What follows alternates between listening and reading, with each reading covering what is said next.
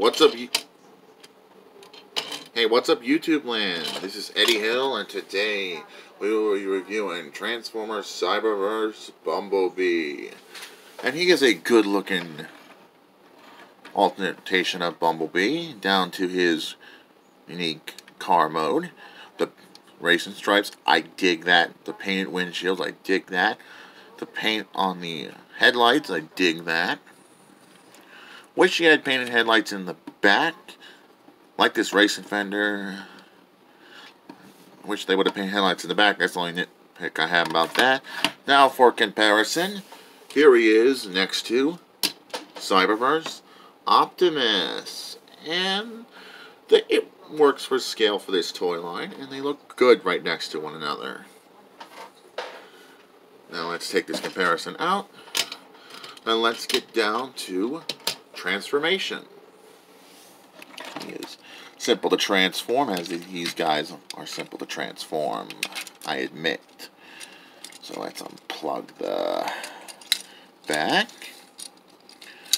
Unplug the back, pull up the head, and now straighten him out.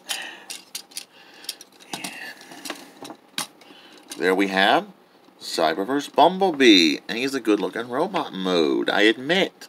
I like the Autobot insignia right there. Wish it would have been down here, but that's only nitpick, uh, one of the nitpicks I have. I wish his Stinger were more posable. That's the only other nitpick I have about him. But otherwise, a great-looking figure through and through. I recommend. If you like Transformers Cyberverse, get Bumblebee. He is lovable in the Cyberverse show. Uh, here, you can see it closely. You can see, can you make out his paint? I can make out his painted eyes a little bit. That's good. Now we're going to do another comparison with Optimus in robot mode. So I'm going to off-camera transform the other figure from vehicle mode to his bot mode. So forgive my for that. Here we go. And here he is next to his buddy, Optimus Prime.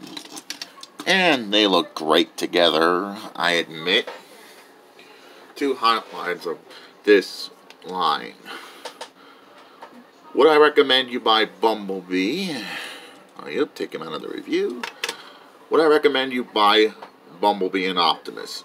Of course. If you like Transformers Cyberverse, get these two. They're worth the money. And where I purchased my copy was Amazon. But you'll probably purchase it, purchase it at eBay,